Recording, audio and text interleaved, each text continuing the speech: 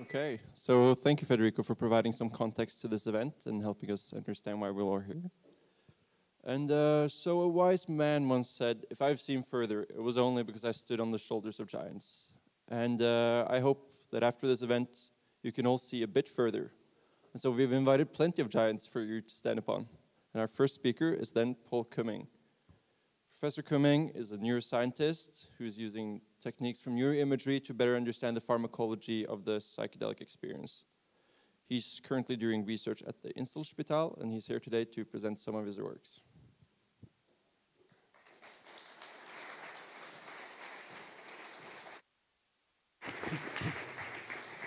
Do you have a watch so that I don't ramble on too long? Okay.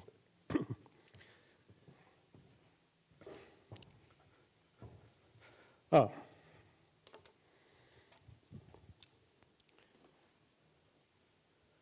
Laser, back, forth.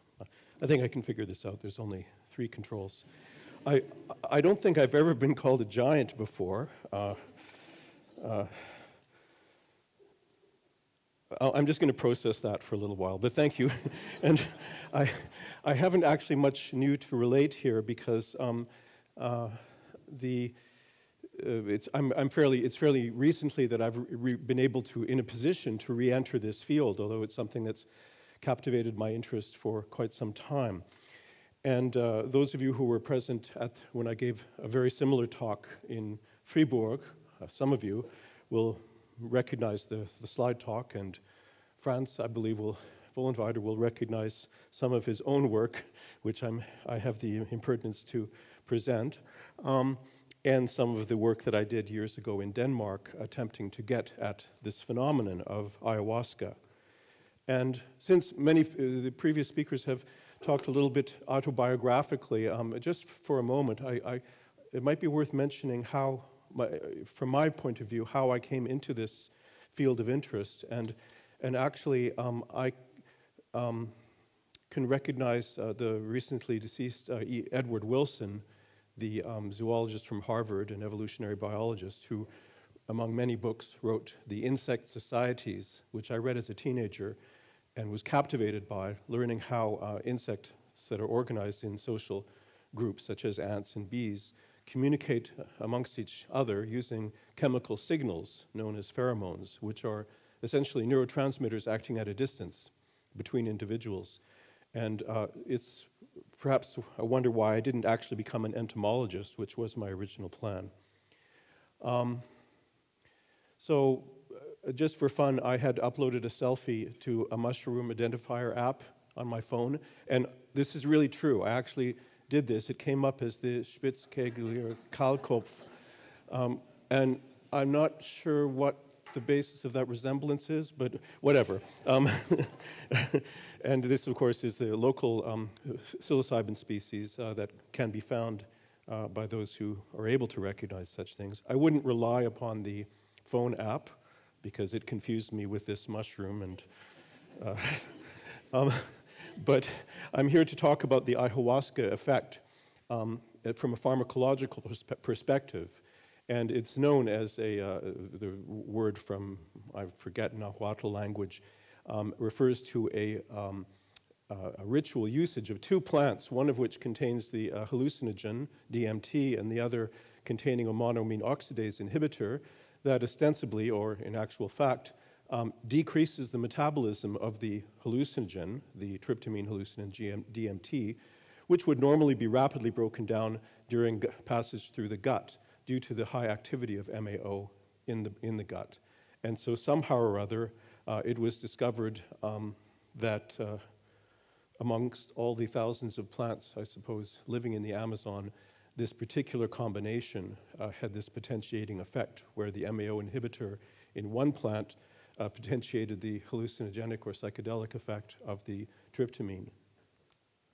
And these are the two plants that are normally considered to be the essential constituents of ayahuasca, the Banisteriopsis on the top and the Psychotria on the bottom. Uh, I'm assured by uh, my now um, my postdoc Lana Berlowitz that uh, the composition of authentic ayahuasca mixtures, in fact, differ greatly from one region to another. And so it may be something of a dogma uh, to accept with uncritically the idea that ayahuasca must consist of these two plants or these two constituents, um, which are normally considered to be in the upper figure uh, NN-dimethyltryptamine, which is a uh, agonist at serotonin 2A receptors and a few other receptors to a lesser extent. And to this effect, pharmacological effect, is attributed its potential to evoke uh, hallucinations on vision, visual experiences. Uh, augmented when taken along with the compound in the lower part of the figure, harmine, which is a beta carboline uh, plant metabolite um, formed in quite a number of plants, that has the property of potently inhibiting monoamine oxidase, which would normally uh, break down DMT to such a considerable extent that you could probably eat DMT by the spoonful and almost without effect. Um, that may be a bit of an exaggeration. Um, but a word of caution the pharmahuasca, the term that was coined by Ott, I guess, um, refers to a synthetic formulation of the presumed active constituents of natural ayahuasca, which is a, a mixture of two or more plants, um, DMT and harmine, or some other MAO inhibitor because uh, there are reports of people uh, using um, prescription uh, MAO inhibitors instead of the um, harmine. However, it's by no means certain that the authentic ayahuasca must contain both of these compounds, or indeed, if other, it may be that other constituents of these plants, literally, and not meant in any pejorative sense, ayahuasca is a witch's brew of uh, hundreds of compounds, uh, and uh, we only happen to know of a few of the ones that uh, are, are, attributed the pharmacological effects.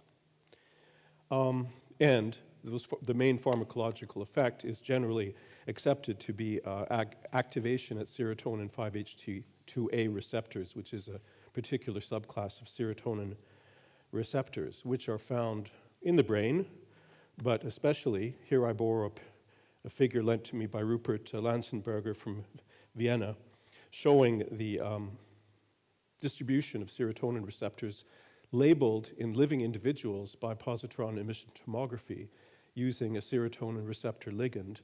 And uh, we're at the midline of the brain, and so we don't really see the entire pattern of distribution, but I'm sure you will appreciate that it's highly abundant in the frontal cortex and also in the visual cortex uh, and nearly absent from subcortical structures.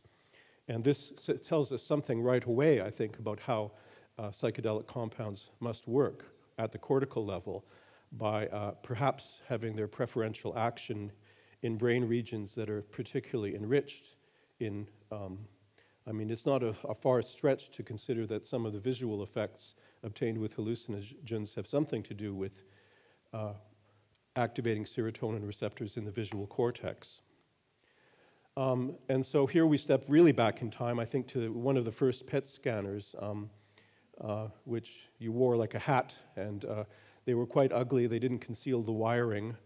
And uh, today, they, the basically principle is the same that um, a radioactive drug or substance, um, if uh, administered to the individual finds itself in the brain and undergoes a particular form of radioactive decay to emit a antimatter electron, a positron, which then annihilates and sends off two very high energy photons or gammas uh, to detectors on one side and the other. And each time two detectors go off in the same instant, that counts as an event.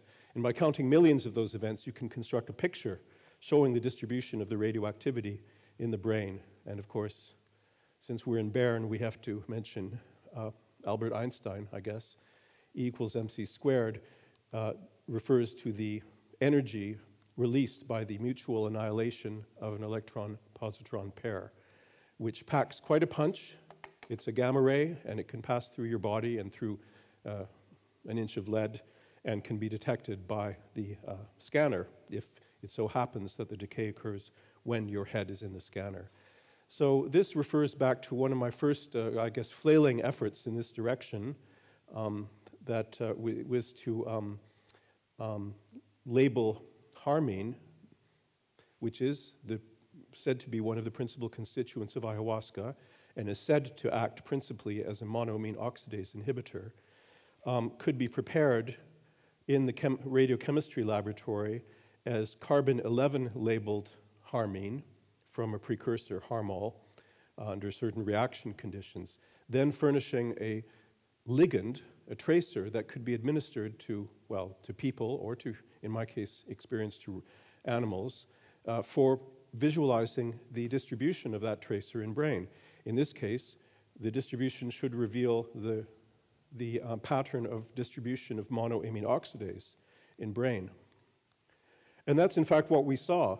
These are pig brains, um, which are roughly like human brains, except smaller. Um, but the basic structures are the same. And we see that in the unblocked condition, the carbon 11 harmine has a high uptake in various regions, including the cortex and also subcortical structures. And that if you pre treat the pigs with something that blocks harmine, another MAO inhibitor that's not radioactive, all that remains is the non-specific binding. So the top figure minus the bottom figure essentially tells you how much MAO there is in each region of the brain. And you can see that it's moderately abundant also in the frontal cortex, where serotonin receptors are most abundant. And um, along these lines, actually, uh, I suppose my point of departure um, for this was this um, early work from the Brookhaven National Labs in, in the United States by uh, Jean Logan, and, um, where they were working with another kind of monoamine oxidase ligand, not harmine, but something else. And they inadvertently found that a smoker who was scanned showed very reduced uptake and almost nothing in the brain, uh, indicating that something about that individual, a smoker, a tobacco smoker, uh, had blocked the MAO in their, throughout their body. And they weren't taking any prescription medications that could be account for this. It seemed to be related to their smoking behavior. So, in fact, tobacco smoke contains very high concentrations of harmine, the same thing that's in ayahuasca. Uh, most of it is not from the tobacco plant itself, but is formed by pyrolysis, that is, the combustion of the tobacco. Um, is smoking, tobacco smoking, what I call ayahuasca light, spelt with the American spelling, uh, i.e., does MAO inhibition occurring in, as you can clearly see, in the brain of this, this particular smoker, um, does, oops, I got ahead of myself. Um, does that actually contribute to the um, pharmacological effect of nicotine? Uh, perhaps to um, potentiate its reinforcing properties. Definitely, maybe. uh, I, I, think there's uh, an emerging consensus that it's not just an epiphenomenon, because the fact that there might be uh, harmine in tobacco smoke doesn't prove that it's relevant to the action of tobacco smoke, but the arguments can be made that it indeed uh, primes the brain in some way by blocking MAO to quite a substantial extent, uh, comparable perhaps to what uh, is obtained during ayahuasca ritual. So smoking is ayahuasca light. Um, toad is uh, a heavy, a heavier form of, of this. Um, this is the, um, the Sonoran toad. I guess you've heard of him before. Unfortunately, being driven into extinction, apparently by over uh, harvesting, let's say. Its skin contains, among other alkaloids, 5-MeO-DMT um, or uh, uh, bufotenine, and um, this has a, a, the same, very similar chemistry, chemical resemblance to DMT and uh, that class of uh, hallucinogenic substances. And um, it struck me early on that, uh, uh you know, never mind the, the details of the structure, but that one could label it here with carbon 11 and then perhaps have a, uh, a uh, instrument for investigating the site of action of this tryptamine in brain by positron emission tomography. And we tried, and this was when I was in Denmark uh, more than 15 years ago. Uh, my chemistry colleague uh, was able successfully to produce this compound by labeling it with carbon 11, which is the radionuclide that produces the PET image, whilst producing the, the, the chemical structure exactly analogous, exactly equal to the natural substance from the um, skin of this uh, unfortunate toad. Unfortunate only because um, they're like the Bärlauch in Quebec, uh, it's being driven to extinction because people like it so much. Um, here in Switzerland, there's plenty of Bärlauch, incidentally, but uh, I, it's perhaps best that people don't know how delicious it is. So anyway, um, we test, tested the, this tracer, uh, the 5-methoxy-DMT, labeled with carbon-11 in pigs, and found it had a certain distribution. If you remember, think back to that picture I showed you from Vienna showing the human distribution of serotonin receptors, you immediately see it doesn't match at all. It has the pattern of uptake of this tracer has nothing to do with the serotonin pattern. Furthermore, treating the animals with a well-known blocker of serotonin receptors was utterly uh, unable to displace the binding. So whatever it's sticking to here, I was never able to establish that, is not serotonin receptors. And I had to leave, leave it at that point.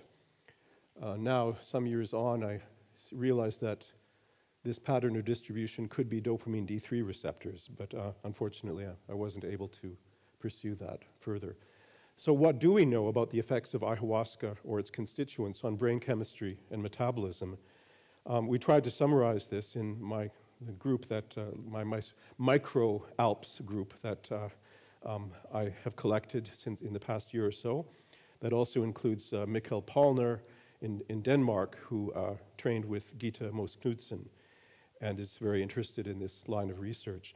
And uh, you know there are several such reviews, but uh, in essence, the general finding is uncontroversial that the main effects of psychedelic compounds can be attributed to serotonin 5-HT2A receptors, plus maybe a few other things. I think of it as like a soup. The main constituent might be potatoes, but uh, the nuanced differences between different uh, psych psychoactive compounds could be mediated by lesser effects uh, at other receptor types, such as 5-HT1A, dopamine, etc. So um, the most classic and best known, uh, best used tracer for brain imaging is, uh, remains fluorodeoxyglucose, which is a radioactive form of glucose. And its uptake and trapping in brain uh, charts out the distribution of cellular activity, of metabolism. And these are just happen to be a, a contrast of normal with Alzheimer's patients. But uh, it just shows, serves only to show that uh, this particular tracer doesn't show serotonin receptors, not, nothing of the sort. Rather, it shows through its accumulation in different brain regions the activity of metabolism in that region. And therefore, you can use it as a test bed to see how does drug X alter brain metabolism by looking at changes before and after. And this was done uh, years ago, I guess, was it, was it 20, 1998 uh, or something, Franz? Um, and uh, to this day remains, as far as I know, the only such study that has been carried out in humans uh, where to specifically to test the effects of, uh, in this case, psilocybin on uh, brain metabolism in healthy volunteers using the FDG PET method. And this figure summarizes 97 uh, that the main effect was that rather globally, and you don't need to read the fine print, but throughout all these different brain areas, there was a quite significant stimulation of cerebral metabolic rate as indexed by the uptake of this glucose tracer in the PET scans. And um, I find this extraordinary that no one has followed up on that. We are hoping to. We are, that, that is part of my program here in Bern, and uh, furthermore in rat studies. Um, um, uh, the, um, the, much remains to be figured out because, in effect, I, I find it an extraordinary result that this particular drug should so substantially elevate to brain metabolism is in itself an, an interesting phenomenon and begs for further examination, finally, 25 years later. Um, and for, to use yet another slide lent, that was lent to me by um, Boris Quednow, um, from Francis Vollenweider's group. Um, the other aspect that could be explored here, again, for the case of psilocybin, is to look at the occupancy of the drug at the serotonin receptors. And just glossing over it very quickly, they showed uh, more than 10 years ago that uh, the in- intensity of the experience correlated with uh, changes in serotonin binding in perhaps, uh, especially the frontal cortex. But as far as I know, uh, there are no other such studies that have been done. And so uh, it's the field, you know, and part of this could be attributed to, I think, the, um, the war on drugs, which defunded this kind of research for such a long time and in so many countries. So I guess, um, uh, am I on time? Have I spoken too fast or too slow? I guess uh, maybe just right. That would be great because this is practically my last slide, and, uh, and in which I have set this kind of background for what I see needs to be so, some things plucked out of the constellation of what needs to be done to ach- achieve a better understanding specifically of the, the way that uh, DMT and an MAO inhibitor interact in the context of uh, ayahuasca to be studied in experimental animals and in human volunteers using uh, these techniques that I've shown you uh, FDG PET to measure glucose metabolism, uh, and um, serotonin receptor PET to measure the target interaction of DMT at uh, serotonin receptors in living brain, which remains essentially unknown.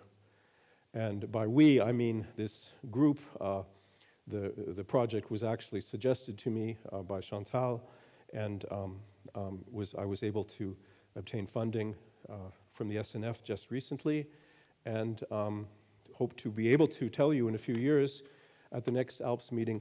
Oh, I forgot to mention, you know, the, the map logo actually looks a lot like the distribution of background radioactivity in Switzerland. Uh, I don't know if that's coincidence or not, except Tessin should be hotter because that's where all the granite is. But anyway, it, it is a nice logo, and since we're talking about imagery and um, such like, I, I will conclude with this quote from T.S. Eliot, uh, uh, the famous uh, magic lantern um, line. If a magic lantern, note 1917, there were no PET scanners then, but uh, there were lantern shows. If a magic lantern through the nerves in patterns on a screen, would it have been worthwhile if one should say, This is not it at all, this is not what I meant at all? So thank you for your attention.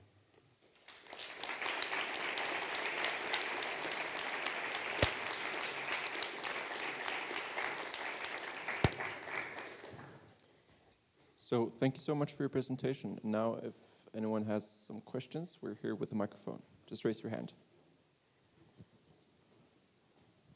Um, this is the first time uh, I hear that uh, tobacco sm smoke is uh, acts as a MAO inhibitor, uh, and this uh, I find it very interesting because tobacco is so esteemed in the Amazon and, and regarded as, as sort of the, the, the holiest of plants. And uh, I mean, of course, I immediately think if that if the pharmacological aspect of that uh, contributes to the to its holiness. Do you, do you have do you know any uh, any or can you well, say something uh, about I, that? I only know what I've learned from, from my postdoc, Ilana Berlowitz, who has spent some years in Amazonia specifically studying uh, ritual tobacco use, and uh, which is actually more widely used and applied in traditional practice than ayahuasca, uh, considerably more so. And interestingly, the, they don't use the uh, species that uh, we we consume, but rather um, uh, uh, what's it called, Nicotiana rustica, yeah. rustica, which is much more potent. It's used to produce uh, nicotine commercially as a herbicide, pesticide, but nobody knows what, what else it contains. So, um, uh, and, but I'm, I'm informed that it's uh, uh, considered an important uh, ritual substance in its own right, but is also frequently included inside the ayahuasca mixtures as an additional additive. And so, um, really, the, the witch's brew uh, metaphor is not so far off. The, there's great potential for interaction between different uh, pharmaceutical substances. Um, uh, a follow-up shortly. Uh, Could do you think if you would smoke enough, that would be enough to sort of uh, uh, do the MAOI thing and, and to activate DMT? Well, I, I think we could predict that from that image from Yeah. Brookhaven, yes. Yes, and I think that uh, there's little doubt that uh, regular smokers uh, are experiencing a substantial but not complete uh, blockade of MAOA and B, both forms, in their brain, and that this may, uh, uh, there's theoretical and experimental evidence to suggest that this may potentiate the action of nicotine uh, via its effects on dopamine, because dopamine, like DMT, is a substrate for MAO, both A and B. And so, therefore, uh, dopamine and serotonin metabolism has to be different in smokers uh, due to the effect of the MAO.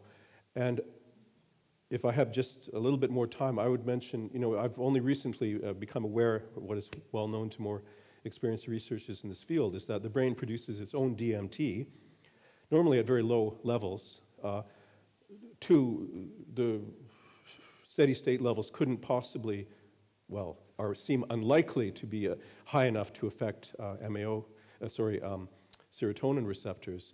But brain MAO is the enzyme that breaks down brain DMT, the endogenous, naturally occurring DMT.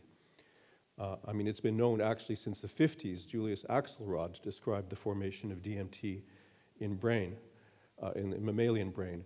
And so I, I, suspect that MAO inhibition, either through tobacco smoke inadvertently, through uh, uh ritual use of tobacco, or through pharmaceutical application of MAO inhibitors as antidepressants, I suspect that there is a significant elevation of brain DMT levels. We're waiting for the results of just such an experiment in rats to see if treatment with harmine increased the DMT levels. Very interesting. Thank you.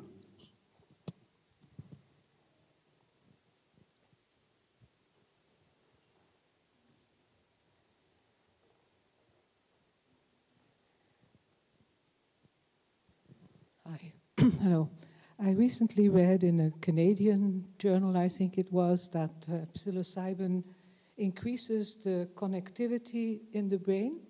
Connectivity fires the synapses more rapidly, and they think that that's the reason why it has a lasting therapeutical effect. So, is that similar as saying brain energy metabolism is increased? Well, the experiment remains to be done. Uh, you would need, I think, ideally a special instrument, which is called a hybrid PET MR machine, to simultaneously uh, collect information in the two channels. Uh, the connectivity data mostly comes from Imperial College, where they used MR to show uh, increased connectivity in the brain. And I think that's, I'm not in a position to explore that, but it's an experiment that begs to be done to simultaneously measure functional connectivity changes whilst measuring the effects of, for example, psilocybin or ayahuasca on brain metabolism, because they must be related in some deep way, yes. But I, I don't think any, anyone knows the answer yet. Thank you. Well, we have time for one more question.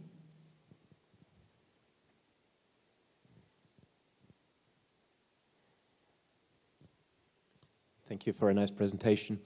Uh, you mentioned at the beginning that uh, DMT and harmine are considered to be the effects, the substances causing the effects of ayahuasca, but this is by no means certain. Um, could you tell us something about the other substances that have been considered or are being considered as giving such effects? Um, when you compare different ayahuascas with each, with each other, they often have very different effects, no? Yes.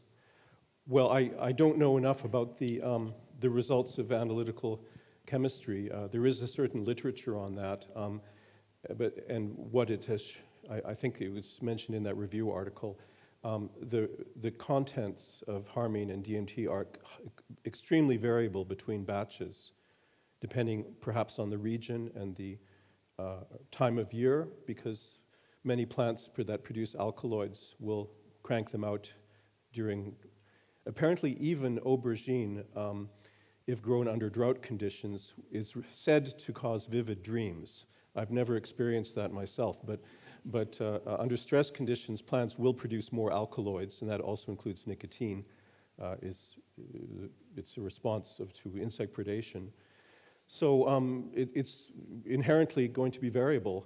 And we just, uh, yes, there are other uh, tryptamines that are present in lesser amounts, and there are other beta carbolines, the collective term for harmine, present in uh, all of these uh, plant products.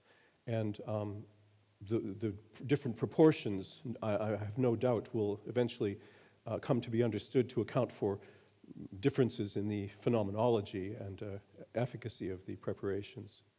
But it's, it's much yet to be done, uh, I think, to quantify these, these things. So, um, thank you once again for your attention.